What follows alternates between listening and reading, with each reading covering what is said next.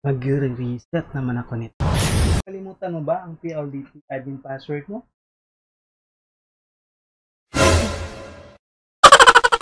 May solusyon po tayo dyan na hindi mo na kailangang reset ang iyong PLDT Home Fiber router.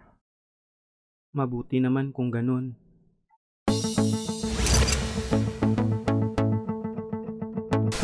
Welcome back mga katropa. If this is your first time nga pala sa channel po natin, ako nga pala si Kuya IT.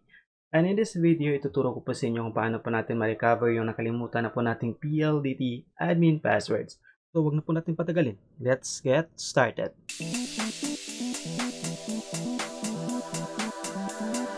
In your keyboard, press lang po yung Windows logo plus R for the run command. Sa run command, type lang po natin yung control space panel. Pagkatapos po niyan mga katap, punta lang po tayo sa programs, programs and features. Pagkatapos po, punta po tayo sa turn Windows features on or off. Yan po mga katropa. May box po na lalabas. So, scroll down lang po tayo. Hanapin lang po natin yung Telnet client. Paki-check lang po yan.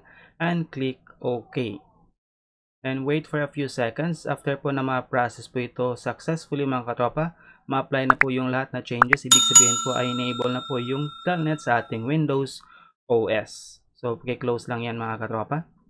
At ngayon naman, enable naman po natin yung Telnet sa ating PLDT Home Fiber Router. So, open lang po tayo ng browser. Sa web address bar, type po natin yung 192.168.1.1 slash FH.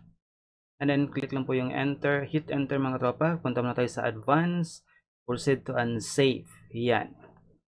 So, sa description box mga katropa, naglagay po tayo ng mga credentials dyan, credentials ng yung Home Fiber Router according to your router's version. So, pag-copy and paste lang po mga katropa sa username at password and click login. So, punta po tayo sa debug switch.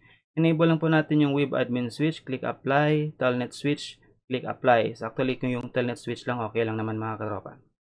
At ngayon po mga katropa, na-enable na po natin yung telnet sa ating uh, Windows operating system at sa PLDT Home Fiber.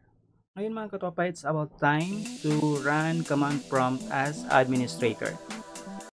In your keyboard, press lang po natin yung Windows logo plus R for the run command. Sa run po command po, type po natin yung CMD at wag po natin i munang i-enter, wag pong i-click yung OK. After typing CMD, ang gagawin po natin ay press po natin yung Control Shift Enter para masiguro po natin na nakaran as, as administrator yung ating command prompt.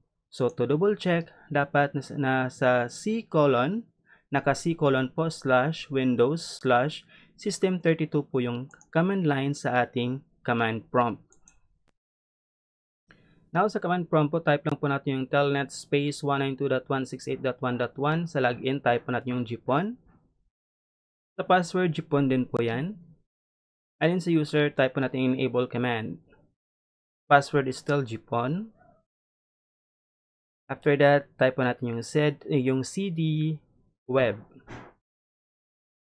Usually mga katropa, uh, before typing any commands, uh, gumagamit po ako ng last command kasi makalimutan ako mga tropa para makikita ko po yung command uh, commands ng uh, telnet. So, dito po mga katropa, gusto po natin kunin yung admin PLDT passwords na nakalimutan na po natin. Ang gagawin po natin ay type po natin yung get uh, space web space admin space username at space admin PLDT and hit enter.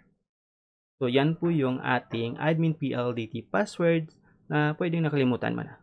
Pero kung gusto mo naman po yung ma-recover yung admin, basic admin password po natin, Uh, type po natin yung get space web space user space username space admin and hit enter. Yan po mga katropa, yung ating um, basic admin passwords na pwedeng nakalimutan mo na din. So that's it mga katropa.